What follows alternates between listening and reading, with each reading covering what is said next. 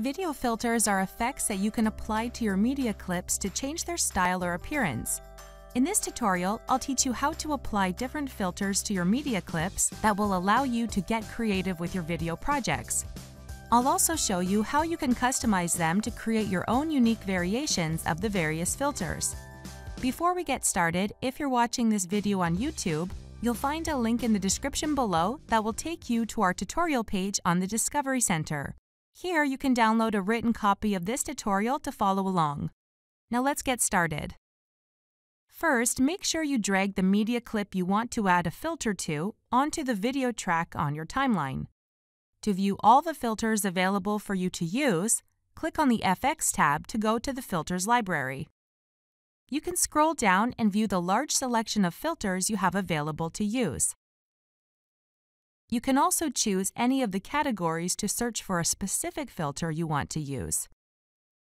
For example, darkroom or nature painting. To preview a filter, just click on the thumbnail and then press the play button.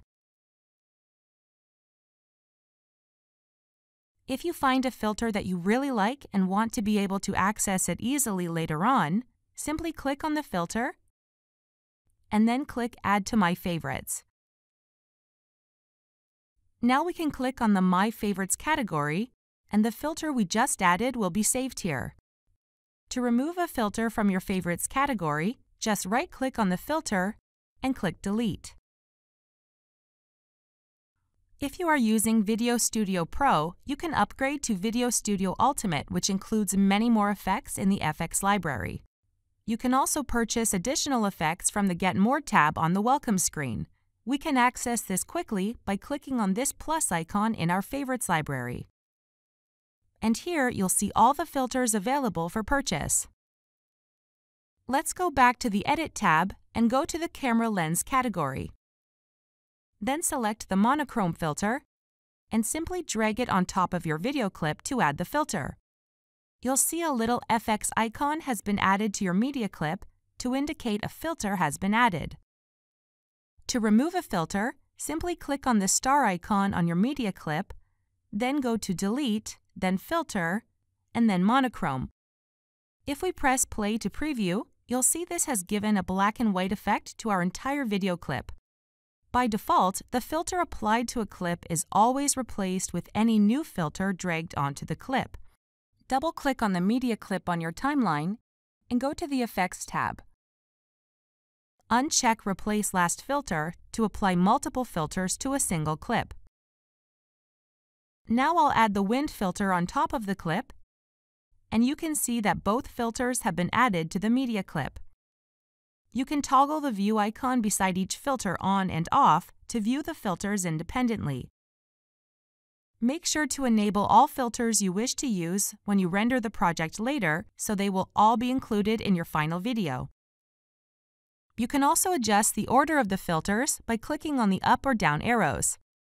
Changing the order will adjust how the video looks depending on the filter used.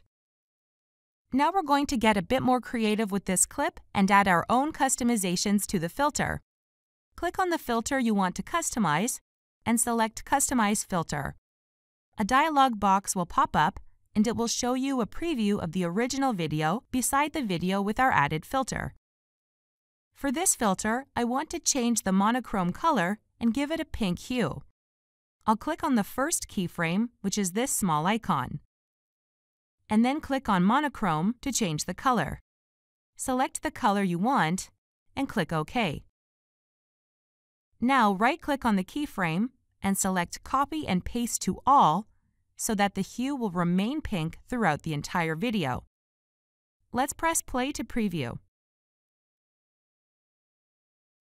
Now let's say we want the video to turn from pink at the beginning to yellow at the end. We can click on the end keyframe and change the monochrome color to yellow. And now let's preview our video again. And you'll see that we've now added a cool colored tone effect to our clip. In the second clip, I'm going to drag and drop the Ghost Motion filter onto this video clip of a musician.